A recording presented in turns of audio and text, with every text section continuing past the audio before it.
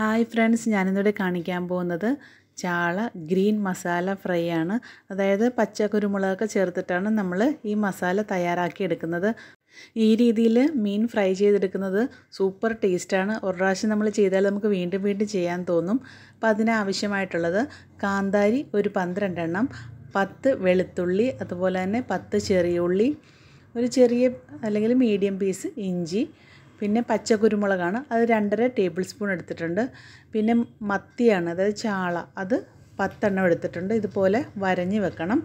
ഇനി നമ്മൾ എടുത്തു വെച്ചിട്ടുള്ള ഇഞ്ചി വെളുത്തുള്ളി കാന്താരി ആ ഐറ്റംസ് എല്ലാം നമുക്ക് മിക്സിയുടെ ചെറിയൊരു ജാറിലേക്ക് ഇട്ട് കൊടുത്തിട്ട് അതൊന്ന് അരച്ചെടുക്കണം. ഇതെല്ലാം ഇട്ട് കഴിയുമ്പോഴേക്കും പിന്നെ ഇതിലേക്ക് നമുക്ക് പൊടികളൊക്കെ ആഡ് ചെയ്യണം. അതിനായിട്ട് ഞാനിവിടെ മഞ്ഞൾപ്പൊടി ഒന്നേകാൽ ടീസ്പൂൺ ഇതിനോടൊപ്പം തന്നെ ചേർത്ത് കൊടുക്കാം. പിന്നെ ഇനി നമുക്ക് ഇതിലേക്ക് ആവശ്യത്തിന് അതായത് മസാലയ്ക്ക് മീനിലേക്ക് പിടിക്കാനുള്ള ആവശ്യത്തിന് ഉപ്പും ചേർത്തിട്ട് പിന്നെ ഇതിലേക്ക് ഒന്നര ടേബിൾ സ്പൂൺ വിനാഗിരി ചേർത്ത് കൊടുക്കുകയാണ്. വിനാഗിരിയും കൂടെ ചേർക്കുമ്പോൾ അതിന്റെ ഒരു പ്രത്യേക ടേസ്റ്റൊക്കെ കിട്ടും. ഇത് നന്നായിട്ടൊന്ന് അരച്ചെടുക്കാം. ഇതുപോലെ നല്ല പേസ്റ്റ് രൂപത്തിൽ അരച്ചെടുത്തിട്ടുണ്ട്.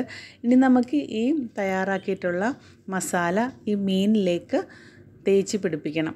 അതായത് നമ്മൾ വരഞ്ഞ് വരഞ്ഞ് വെച്ചിട്ടുണ്ട് മീനൊക്കെ. എന്നിട്ട് അതിന്റെ ഉള്ളിലേക്കൊക്കെ എത്തത്തക്ക രീതിയിൽ നന്നായിട്ട് ഇത് ഇതുപോലെ തേച്ച് പിടിപ്പിക്കണം. ആ വരഞ്ഞിട്ടുള്ളതിന്റെ ഇടയിലൊക്കെ മസാല കയറിയാലേ പ്രത്യേക ടേസ്റ്റൊക്കെ കിട്ടുള്ളൂ അപ്പോൾ അതിന്റെ ഉള്ളിലും നമ്മൾ ആ കുടലൊക്കെ കളഞ്ഞ ഭാഗത്തേക്കും നന്നായിട്ടൊക്കെ ഒന്ന് തേച്ച് പിടിപ്പിക്കണം. ഇതെല്ലാം തേച്ച് പിടിപ്പിച്ചതിന് ശേഷം ഒരു പത്ത് മിനിറ്റ് റെസ്റ്റ് ചെയ്യാൻ വെച്ചിട്ട് നമുക്ക് ഫ്രൈ ചെയ്യാം. അപ്പോൾ ആ മസാലയൊക്കെ ആ മീനിലേക്കൊന്ന് പിടിച്ച് കിട്ടും. അരമണിക്കൂർ വെച്ചാൽ കൂടുതൽ നല്ലത്. ഇനി ചൂടായ പാനിലേക്ക് വെളിച്ചെണ്ണ അതായത് ഫിഷ് ഫ്രൈ ചെയ്യാൻ നമുക്ക് ആവശ്യത്തിനുള്ള വെളിച്ചെണ്ണ. ഞാൻ ഇവിടെ നോൺ സ്റ്റിക്കാണ് നോൺ സ്റ്റിക്ക് ആകുമ്പോൾ ഒരുപാട് വെളിച്ചെണ്ണയുടെ ആവശ്യമില്ല. വെളിച്ചെണ്ണ ചൂടായി വന്നപ്പോഴേക്കും കുറച്ച് കറിവേപ്പില ഇട്ട് കൊടുത്തിട്ടുണ്ട്. ഇത് മീൻ ഓരോന്നായിട്ട് നമുക്കിങ്ങനെ തിരിച്ചും മറിച്ചും തിരിച്ചും മറിച്ചും ഇട്ട് കൊടുക്കാം. അപ്പോഴേക്കും കുറച്ചുകൂടെ സ്പേസ് നമുക്ക് മീൻ ഇടാനായിട്ട് കിട്ടും. ഇനിയിപ്പോൾ ഇതെല്ലാം ഇട്ട് കൊടുത്തിട്ടുണ്ട്.